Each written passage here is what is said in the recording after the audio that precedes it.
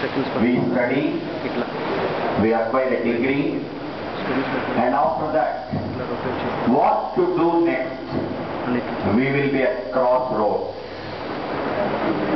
We would we will not be knowing what to do, how to approach, whom to approach, whom to believe and whom not to believe. Who will give us the real future prospects and opportunities?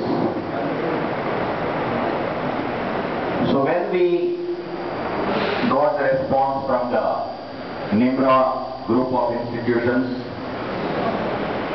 we thought we should visit your place and tell you all something about us and something about what you can do after your BTech, after your uh, degree. My dear friends,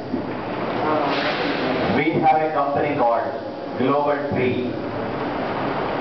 And many students from this NIMRA group of institutions have already been